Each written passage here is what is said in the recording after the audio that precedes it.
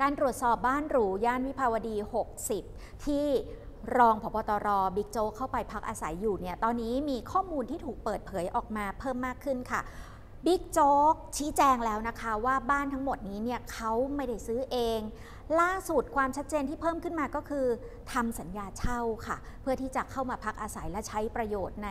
อาคารบางส่วนนะคะ แต่ที่นี่ข้อมูลเนี่ยมันดูจะแตกต่างไปจากก่อนหน้านี้ว่าเป็นบ้านที่ญาติเนี่ยซื้อเอาไว้ แล้วก็ให้บิ๊กโจ๊กเนี่ยเข้ามาอาศัยใช่ไหมคะ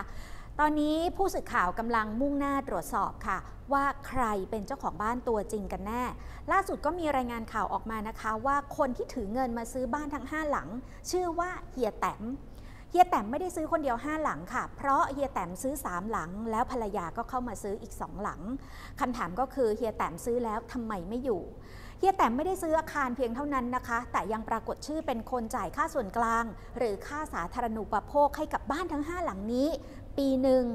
142,000 บาท และยังปรากฏชื่อเป็นคนที่ขอใช้ไฟให้กับบ้านทั้ง 5 หลังนี้ด้วยค่ะ จึงเป็นที่มาของการพยายามจะไปหาคำตอบจากบิ๊กโจ๊กในวันนี้นะคะ ว่าบ้านหลังนี้เป็นของใครกันแน่ แต่ในแนวทางการสืบสวนค่ะตำรวจกำลังมุ่งหน้า ตรวจสอบว่าเงินที่เฮียแต้มเอามาซื้อนั้นได้มาจากอะไร